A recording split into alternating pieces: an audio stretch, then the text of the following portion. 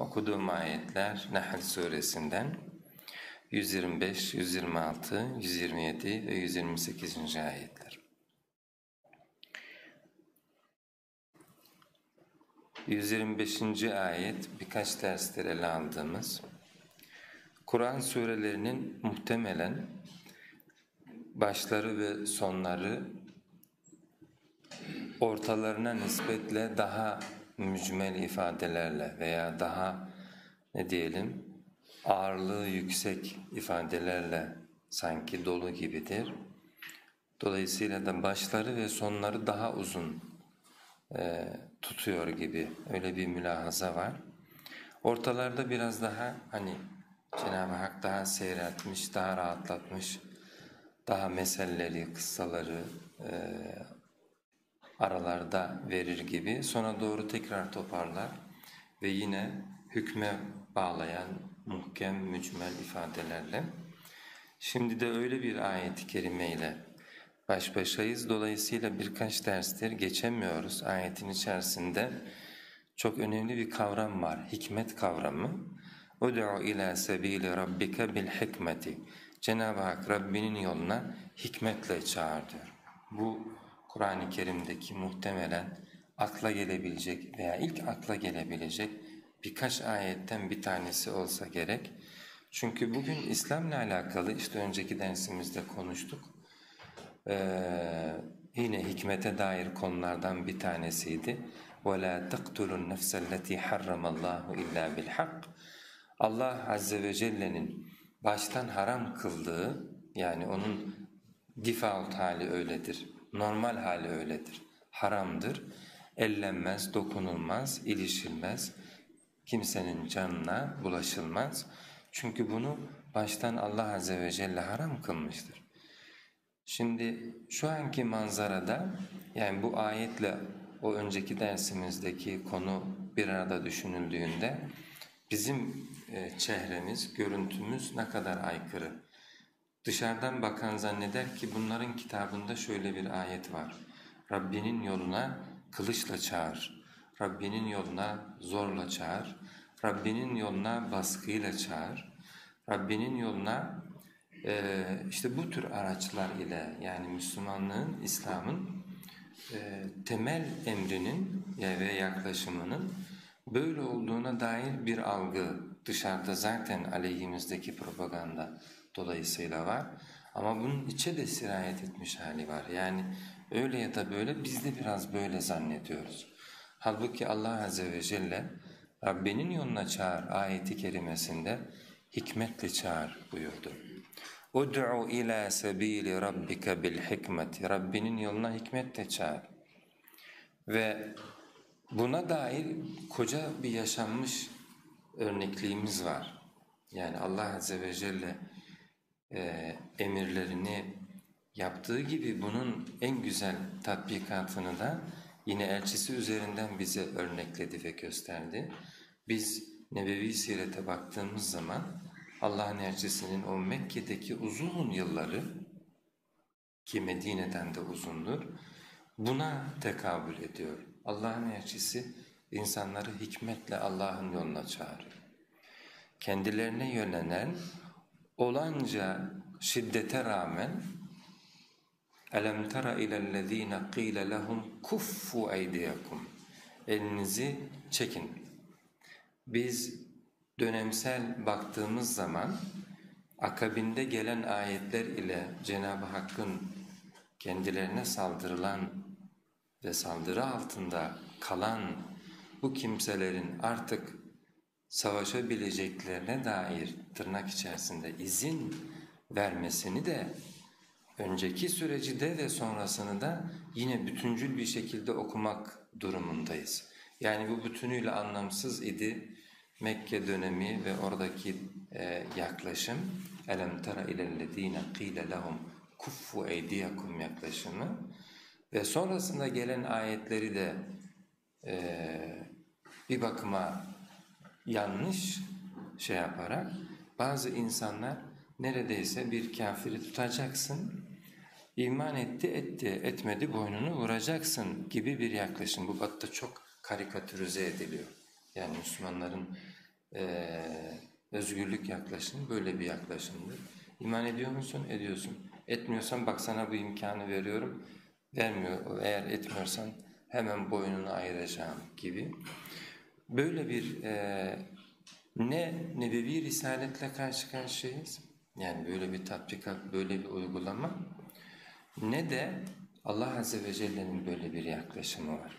اُدْعُ اِلَى سَب۪يلِ رَبِّكَ بِالْحِكْمَةِ Çünkü esasta şuna inanıyoruz. Yeryüzünde insanlar belli bir iradeyi Cenab-ı Hakk'a karşı saygılı bulunup bulunmamayı, böyle bir iradeyi yaşamak üzere buraya geldiler. Dolayısıyla وَقُلِ الْحَقُّ مِنْ رَبِّكُمْ فَمَنْ شَاءَ فَلْيُؤْمِنْ وَمَنْ شَاءَ فَلْيَكْفُرْ Hak Allah Azze ve Celle'den gelmiş durumdadır. Hak Cenab-ı Hak tarafından kullarına ulaştırılmış durum. Bunu vaat etmişti.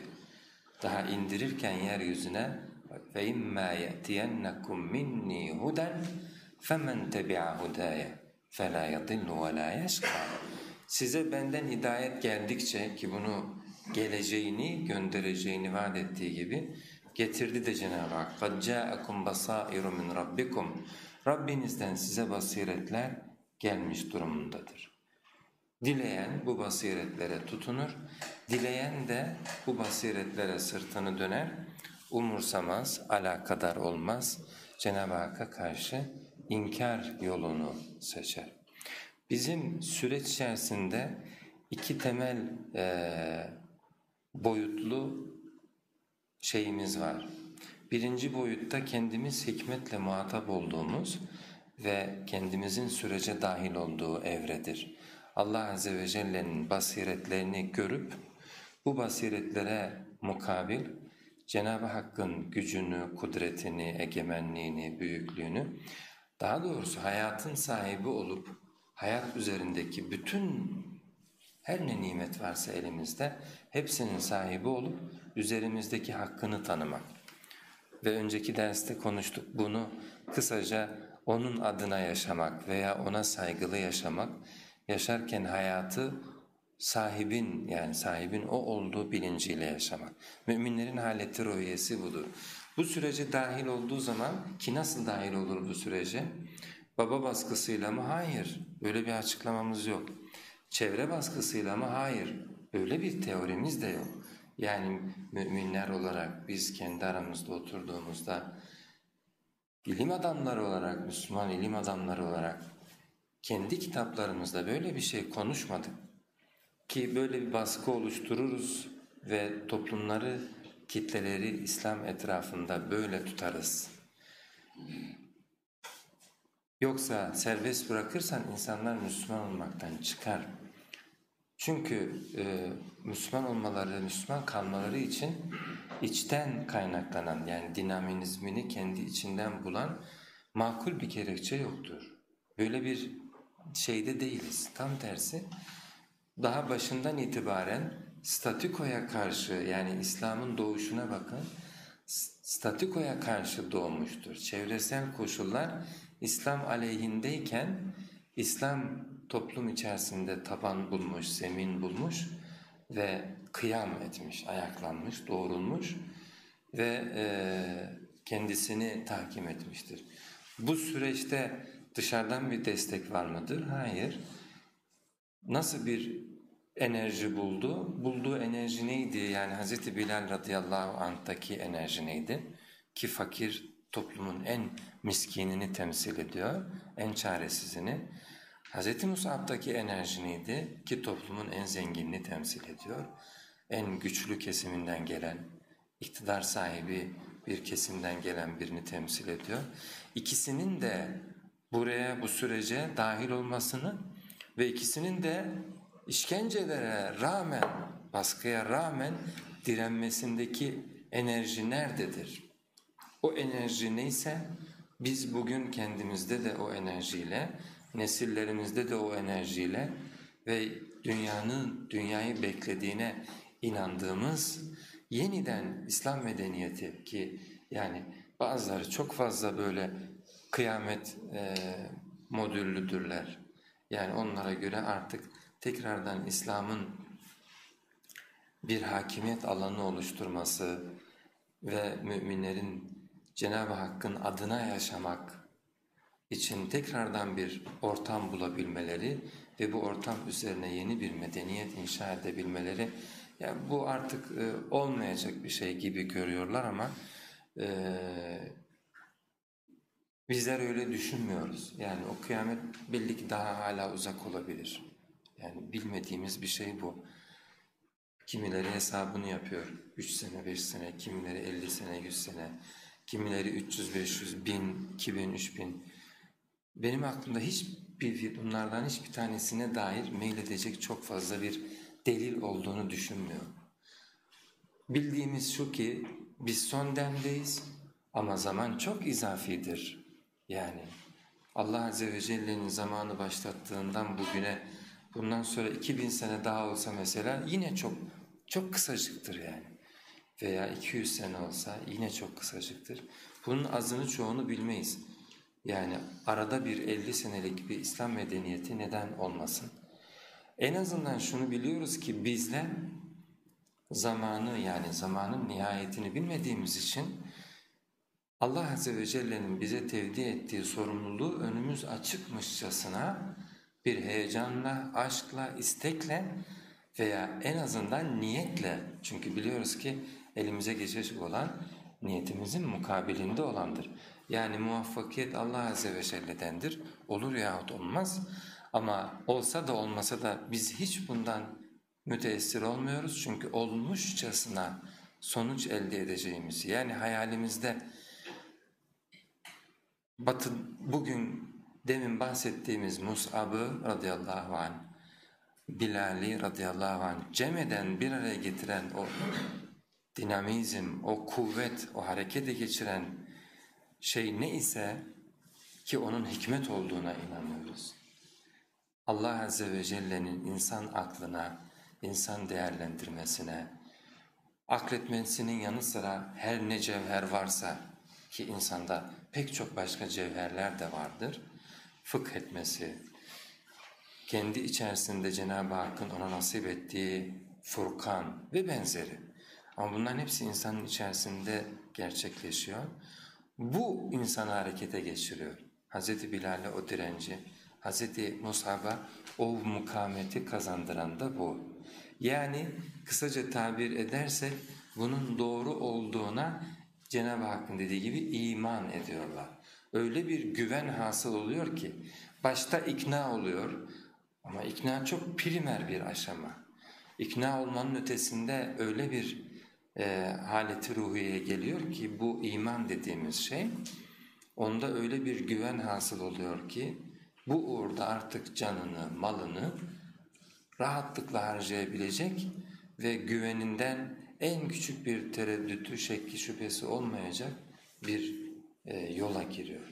Bu Hz. Peygamber sallallahu aleyhi ve sellem ve onun tebliğ edip de kendine iman ettiği kimselerin yaşadığı bir e, süreçtir ki biz onu Mekke'de, Mekke'den Medine'ye ve sonrasında ne kadar badire gelirse, ne kadar yoğun tehlike gelirse gelsin burada bir sarsıntı, kırılma, elbette bazılarında tedirginlikler oluyor ama genel ortalamadan bahsedersek süreci yönetecek, süreci, süreci kotaracak bir mukavemet var. Burada kesinlikle baskının herhangi bir unsuru yok. İkna olmuş, iman etmiş kimselerle yol alınır. Dolayısıyla biz de baskının değil, hikmetin gücüne inanmamız gerekir. Şu anda İslam toplumlarında şu anki müminleri itibariyle İslam coğrafyasında insanlar İslam'ın ve Müslümanlığın korunması gerektiğine, çitlerle korunması gerektiğine inananların sayısı daha fazladır. Bu batıda zaten böyledir. Yani batıda Hristiyanlığı savunanlar ve korumak isteyenler bunu çitlerle koruyabileceklerine inanırlar. Dolayısıyla duvar örmek gerekir. O duvarlar ön yargı duvarlarıdır. Müslümanlara karşı ön yargı duvarlarıdır.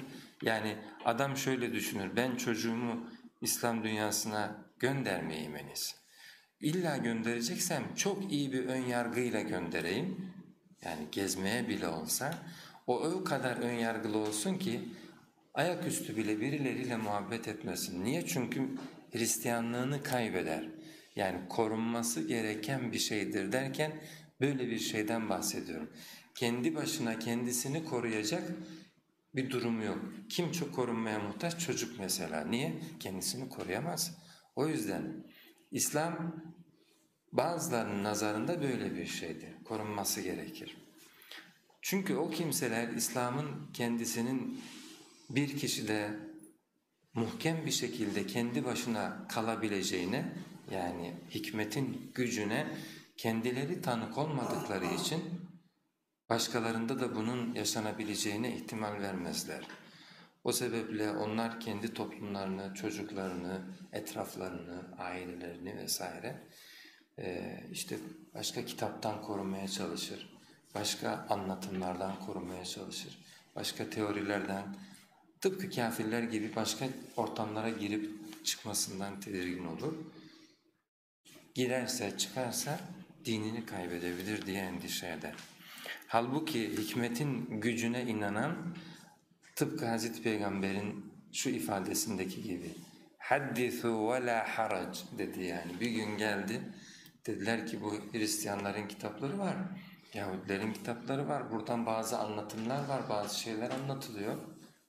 Ve la harac dedi Allah'ın bir sıkıntı yok yani. Sonra dedi ki tasdik ederken de yalanlarken de dikkatli olun çünkü vahye dayalı, vahiy kaynaklı malumatlar olabilir. Tezif edilmiş, tahrif edilmiş malumatlar da olabilir. Yine insandaki hikmete dair temyize ve algıya işaret ederek. Bu Allah Azze ve Celle'nin yarattığı bir kuldur. Hem kendimiz hem evlatlarımız hem çocuklarımız ve vahye muhatap oldukları zaman onu temyiz edebilecek potansiyeldedirler. Peki temizden sonra onu buradan çıkaracak olan nedir? Hakka veya dalalete, hidayete veya dalalete çıkaracak olan nedir? Tek bir şeydir, o da ihlas. Eğer ihlaslı olursa o zaman temiz ettiği hakikate vefa gösterir ve hidayete Cenab-ı Hak onu muvaffak kılar. Eğer ihlas yok ise temiz ettiği yani fark ettiği hakikate rağmen hevasının ardına düşer. Cenab-ı Hak bel ataynahum bil hakki ve in ve innahum lil hakki lekarihun. Biz hakkı getirdik ama onlar haktan hoşlanmıyorlar. Ve in tevellav fa'lem ennemâ yettebi'ûne ahvâahum. Sırt dönüyorlarsa başka bir sebeple değil, hevalarına tabi oldukları için. Eğer biz en güçlü silahımızın hikmet olduğuna olduğunu fark edersek ki bunu fark edebilmemiz için bizim kendimizin yaşaması lazım. Yani beni Müslüman tutan ve beni Müslüman bırakan ve beni Müslüman kalmama yol açan şey İslam'ın hakikat olduğudur. Yani buradaki hikmet, buradaki doğruluk, gerçekliğin kendisi. Yenişemedim İslam ile. Eğer batıla çıkarabileydim reddedeceydim ama yenişemedim dediği zaman insan hakikatle karşı karşıya olduğunu. Yani hakikatin bizim kendisine biraz iyilik yaparak hakikat kılmak gibi bir şeye ihtiyacı yoktur. O kendi başına haktır zaten. Sen onu batıla yani çürütmeye çalışsan çürütemediğin zaman o daha bir parıldar. Nasıl demirle uğraşırsın uğraşırsın daha parıldar. O gücünü böyle gösterdiği zaman daha çok ihkam eder.